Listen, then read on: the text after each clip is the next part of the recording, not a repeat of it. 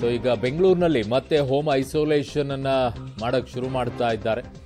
ಮೃತಪಟ್ಟ ಸೋಂಕಿತನ ಕುಟುಂಬದ ಐಸೋಲೇಷನ್ ಕೂಡ ಈಗ ಮಾಡಿದ್ದಾರೆ. ಅವರೆಲ್ಲೂ ಕೂಡ ಆಚೆ ಬರೋ ಹಾಗಿಲ್ಲ. ಐದು ದಿನಗಳ ಹಿಂದೆ ಮೃತಪಟ್ಟಂತಹ ಚಾಮರಾಜಪೇಟೆಯ ನಿವಾಸಿ ಅರವತ್ನಾಲ್ಕು ವರ್ಷ ಬಿಬಿಎಂಪಿಯಿಂದ ಈಗ ಐಸೋಲೇಷನ್ಗೆ ಕ್ರಮವನ್ನ ತೆಗೆದುಕೊಂಡಿದ್ದಾರೆ. ಈಗಾಗಲೇ ಮೃತ ವ್ಯಕ್ತಿಯ ಕುಟುಂಬಸ್ಥರಿಗೆ ಪರೀಕ್ಷೆಯನ್ನ ಕೂಡ ಮಾಡಿಸಿದ್ದಾರೆ. ಸೊ ಅದು ನೆಗೆಟಿವ್ ಬಂದಿದೆಯಾ ಪಾಸಿಟಿವ್ ಬಂದಿದೆಯಾ?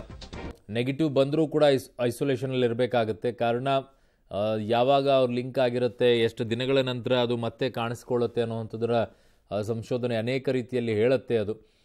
ಬಂದ ಮೂರ್ನಾಲ್ಕು ದಿನಗಳ ನಂತರ ಕಾಣಿಸಿಕೊಳ್ಳುತ್ತೆ ಅಂತ ಹೇಳಿ. ಸೊ ಹಾಗಾಗಿ ಐಸೋಲೇಷನಲ್ಲಿ ಇರ್ತಾರೆ. ಲೋಕೇಶ್, ಈಗ ಹಳೆಯ ರೂಲ್ಸ್ಗಳೆಲ್ಲ ಆಚೆ ಬರೋಕ್ಕೆ ಶುರು ಆಗುತ್ತಾ ಈಗ ಯಾರ್ಯಾರಿಗೆ, ಯಾರ ಮನೆಯಲ್ಲಿ ಈ ರೀತಿಯಾಗಿ ಟ್ರೀಟ್ಮೆಂಟ್ ಬರುತ್ತೆ, ಅವರಿಗೆಲ್ಲ ಹೋಮ್ ಐಸೋಲೇಷನಲ್ಲಿ ಇರಬೇಕು ಅನ್ನುವಂಥದ್ದನ್ನ ಈಗ ಶುರು ಮಾಡಿದೆಯಾ B B M P Arun ಖಂಡಿತವಾಗೂ ಈಗ ಇರ್ತಕ್ಕಂಥ ನಿಯಮಗಳೇ ಕಂಟಿನ್ಯೂ ಆಗ್ತಾ ಹೋಗುತ್ತೆ. ಈಗ ಪಾಸಿಟಿವ್ ಬಂದಂಥ ವ್ಯಕ್ತಿಗಳು ಮತ್ತು ಅವರ ಸಂಪರ್ಕದಲ್ಲಿರ್ತಕ್ಕಂಥ ವ್ಯಕ್ತಿಗಳು ಕಡ್ಡಾಯವಾಗಿ ಹತ್ತು ದಿನಗಳ ಕಾಲ ಕ್ವಾರಂಟೈನನ್ನು ಆಗಬೇಕಾಗುತ್ತೆ.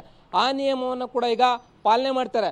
ಅವ್ರನ್ನ ಕ್ವಾರಂಟೈನ್ ಮಾಡಿದ್ದಾದ್ಮೇಲೆ ಮತ್ತೆ ಅವರಿಗೆ ಏಳು ದಿನ ಅಥವಾ ಒಂಬತ್ತನೇ ದಿನಕ್ಕೆ ಮತ್ತೊಂದು ಟೆಸ್ಟ್ ಅನ್ನ ಮಾಡ್ತಾರೆ. ಆ ರೀತಿಯ ಟೆಸ್ಟ್ಗಳು ಕೂಡ ಈಗ ಶುರುವಾಗುತ್ತೆ. ಮೊದಲು ಏನೆಲ್ಲ ಹಳೆಯ ನಿಯಮಗಳಿದ್ವು, ಆ ಎಲ್ಲ ನಿಯಮಗಳು ಕೂಡ ಈಗ ಜಾರಿ ಆಗ್ತವೆ ಅನ್ನೋದರಲ್ಲಿ ಯಾವುದೇ ರೀತಿಯ ಅನುಮಾನ ಇಲ್ಲ. ಒಂದು ವೇಳೆ ಕೋವಿಡ್ ಕೇಸ್ಗಳ ಸಂಖ್ಯೆ ಜಾಸ್ತಿ ಆಗ್ತಾ ಹೋದರೆ ಮತ್ತಷ್ಟು ರೂಸುಗಳು ಬರುವ ಸಾಧ್ಯತೆ ಇದೆ. ಹೀಗಾಗಿ ಕೋವಿಡ್ ಟೆಸ್ಟು, ಟ್ರೀಟ್ಮೆಂಟ್ ಮತ್ತೆ ಟ್ರ್ಯಾಕಿಂಗ್ ವಿಚಾರದಲ್ಲಿ ಏನೆಲ್ಲ ನಿಯಮಾವಳಿಗಳಿದ್ವು, ಆ ನಿಯಮಾವಳಿಗಳು ಮತ್ತೆ ಈಗ ಮರುಕಳಿಸ್ತವೆ ಅನ್ನುವಂಥದ್ರಲ್ಲಿ ಯಾವುದೇ ರೀತಿಯ ಅನುಮಾನ ಇಲ್ಲ. ಕ್ವಾರಂಟೈನ್ ಇರ್ಬೋದು, ಐಸೋಲೇಷನ್ ಇರ್ಬೋದು, ಮತ್ತೆ ಪ್ರಾಥಮಿಕ ಸಂಪರ್ಕ, ದ್ವಿತೀಯ ಸಂಪರ್ಕ ಇರತಕ್ಕಂಥ ವ್ಯಕ್ತಿಗಳಿಗೆ ಮತ್ತೊಂದು ಮರುಪರೀಕ್ಷೆ ಮಾಡುವಂಥದ್ದು, ಈ ರೀತಿಯ ನಿಯಮಗಳೆಲ್ಲವೂ ಕೂಡ ಮತ್ತೆ ಮರು ಜಾರಿ ಆಗ್ತವೆ.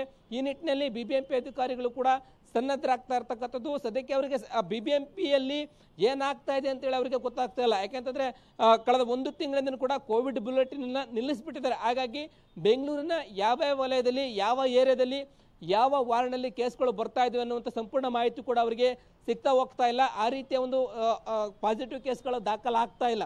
ಆ ನಿಟ್ಟಿನಲ್ಲಿ ಈಗ ಒಂದು ಗೊಂದಲದಲ್ಲಿದ್ದಾರೆ. ಇವತ್ತು ಎಲ್ಲ ರೀತಿಯಾದಂಥ ಮತ್ತೊಂದು ಆ್ಯಪನ್ನು ಸೃಷ್ಟಿ ಮಾಡ್ತಾ ಇರ್ತಕ್ಕಂಥದ್ದು. ಆ ಒಂದು ಪೋರ್ಟಲ್ನಲ್ಲಿ ಕೋವಿಡ್ ಕೇಸ್ಗಳನ್ನು ದಾಖಲು ಮಾಡೋಕ್ಕೆ ಹೊಸ ಪೋರ್ಟಲನ್ನು ಬಿ ಬಿ ಎ ಪಿ ರಚನೆ ಮಾಡ್ತಾ ಇದೆ. ಜೊತೆಗೆ ಕೇಂದ್ರ ಆರೋಗ್ಯ, ಅಂದರೆ ರಾಜ್ಯ ಆರೋಗ್ಯ ಇಲಾಖೆ ಕೂಡ ಈಗ ಬುಲೆಟಿನನ್ನು ಬಿಡುಗಡೆ ಮಾಡಲಿಕ್ಕೆ ಸ್ಟಾರ್ಟ್ ಮಾಡಿರುವಂಥದ್ದು. ಈ ನಿಟ್ಟಿನಲ್ಲಿ ಮತ್ತೆ ಎಲ್ಲ ಕೊರೋನಾ ನಿಯಮಗಳು ಮರುಕಳಿಸ್ತವೆ. ಜನರು ಕೂಡ ಪಾಲನೆ ಮಾಡಬೇಕಾಗುತ್ತೆ.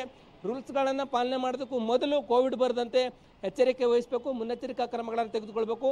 ಅದರಲ್ಲೂ ಬೇರೆ ಬೇರೆ ಕಾಯಿಲೆಯಿಂದ ಬಳಲ್ತಾ ಇರುವಂಥದ್ದು ಪ್ರಮುಖವಾಗಿ ಹೃದಯ ಸಂಬಂಧಿ ಕಾಯಿಲೆಯಿಂದ ಬಳಲ್ತಾ ಇರೋರು ಹೆಚ್ಚು ಎಚ್ಚರಿಕೆಯನ್ನ ವಹಿಸಬೇಕಾಗತ್ತೆ ಅರುಣ್